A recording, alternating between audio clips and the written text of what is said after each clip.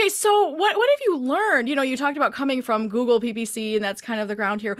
What you know versus 2018, fast forward to 2023. What what are some old policies that have kind of like come up and have changed within PPC? Because I know there's a lot of my people that have been around for a while, and maybe they haven't messed with with ad campaigns just yet, and those types of things. So, what have you seen something as a shift into what was old and now is new? Yeah, I'd say from old, like you know, being on the platform before they had that beautiful graph and having to download sheets and like do it that way was terribly painful. So in terms of um like fundamentally it always works the same like it's a I think it's a second price auction PPC system so you pay uh, 1 cent more than the last bidder. Uh effectively works the same in terms of like keyword harvesting, doing bid adjustments based on CPC, uh, negating terms inside campaigns to kind of get around that. From uh, so from like the, the fundamentals, it's it's always kind of the same. What's really interesting and like how it's evolved over time is become more of a full funnel experience. So it's it's about building audiences and touching customers at different stages of their journey.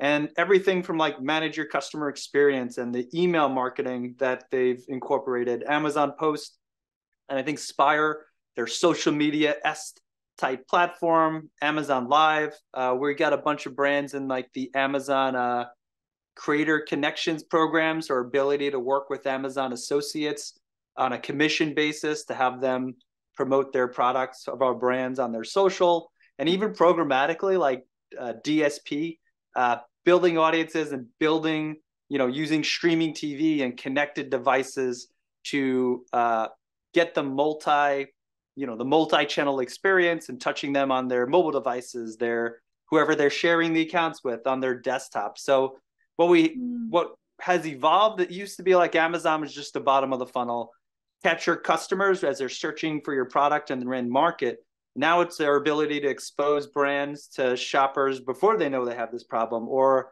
have mm-hmm. shown intent or some type of context that this product might solve a solution so we have the ability to build these audiences and and grow like grow Amazon only brands. And it's it's a really the evolution's been crazy, as I'm sure you can relate, Kristin. Yeah, uh, that's what I think is the biggest opportunity right now on Amazon is the, uh, the that they've opened up the floodgates. I mean, years ago, I'm I'm old school. I've been on Amazon since 2008.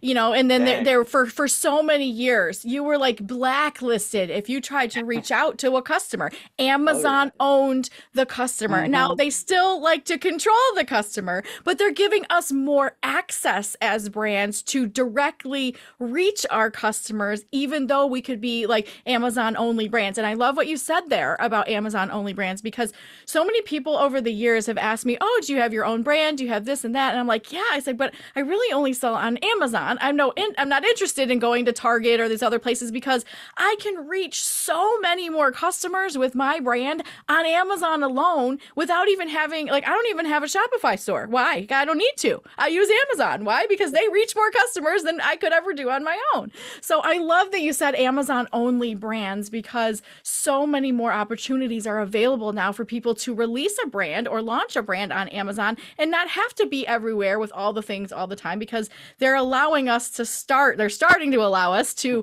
gather and keep our own customers and uh, sell things to them, and maybe indirectly still because we're using yeah. Amazon's platform. But before it was such a hush hush, not allowed. You couldn't reach out to your customers, you couldn't email them, you couldn't build a yeah. list based on what they were purchasing. And so now that that's incorporating and changing, I feel like the floodgates are open to build really solid brands. Amen. Preach, Krista. That's what I'm saying. And you hit on the head like 50% of e commerce happens on Amazon.